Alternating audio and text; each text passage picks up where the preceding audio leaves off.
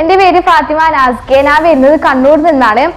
പിന്നെ R R കാബിലി നമുക്ക് വിദ്യാർത്ഥികൾക്ക് വേണ്ടിയിട്ട് ഒരുക്കി തന്ന സ്കോളർഷിപ്പിന് തന്നതിന് എനിക്ക് വളരെ നന്ദി അർപ്പിക്കുന്നു.